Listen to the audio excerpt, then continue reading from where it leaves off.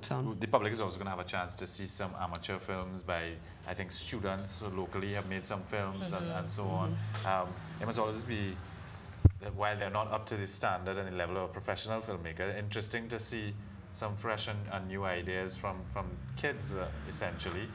Students, secondary school students who are out there making films. It is, and it's also it's it's encouraging to the film industry because while we're trying to promote, you know, we're trying to promote film as a viable industry in Trinidad, and it's it's just encouraging to know that there are people who are making films and that it doesn't necessarily have to be a massive production in order to get out there. That you know, if you make something that's of merit, that's beautiful, that has some qualities that you know someone can relate to, then you know there's a chance we'll show it, and there's a chance also for those people to meet with more experienced filmmakers during the festival. Yeah.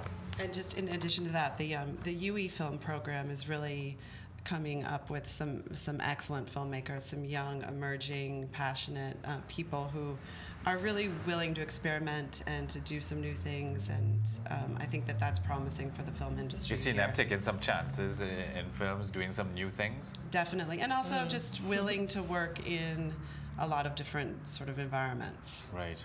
Um, that uh, a more seasoned filmmaker may not be willing to work in. Yeah, or less commercial Right. as well. Yeah. Yes. Less commercial films. So tell us a, a little bit about when and where we can take it. this for $25 and MovieTowne starts next week. Wednesday runs for two weeks just about 16th to the 29th of September. Uh, any other opportunities? MovieTowne of course and in Invaders Bay MovieTowne and Tobago as well. There is um, a, a film program at Studio Film Club as well, and that's um, next, Next week, Wednesday, Wednesday. the 16th, the 17th, and the 18th. That's in the Fernandez compound in Laventille.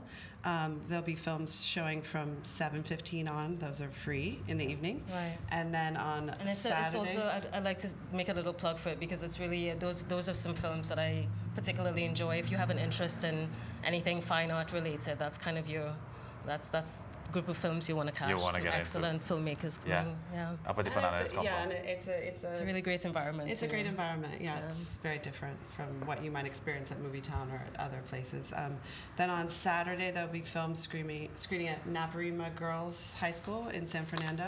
Yep. And that's all day long. Those are free. And then the following Thursday and Friday, the 24th and 25th, there'll be film screening at UWI campus. Yeah. And I think we can get more information on the internet am I correct www.trinidadandtobagofilmfestival.com. All right, Bookmark it. It's long, but not all that hard to remember.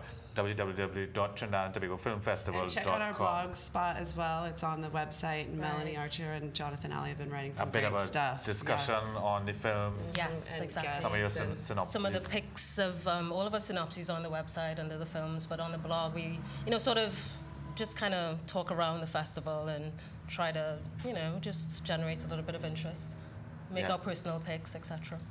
Okay, Melanie Archer and Emily Upczak, thank you very much for joining us this Thank morning. you. And we will be looking out for that film festival. Gayelle, of course, we are partnering with the film festival, and we urge you to go out and see some of those films. They really are quite good, and, and you'll pay $25, uh, not the usual MovieTowne price, and you're going to get in and, and see a, a good film, an unusual film in most circumstances, not your typical Hollywood plot that you kind of know the ending before it goes along, and some beautiful, some really beautiful films. So we'd like you to urge you to get out there. That's all for today. Uh, that's the end of People's Budget Response. Wayne Cunningham and myself will be on tomorrow morning. We'll be talking football. That, of course, after tonight's game against the United States at the Hasely Crawford Stadium. That kicks off at Yikes. 7 11, 7 11 p.m. tonight, uh, TV time.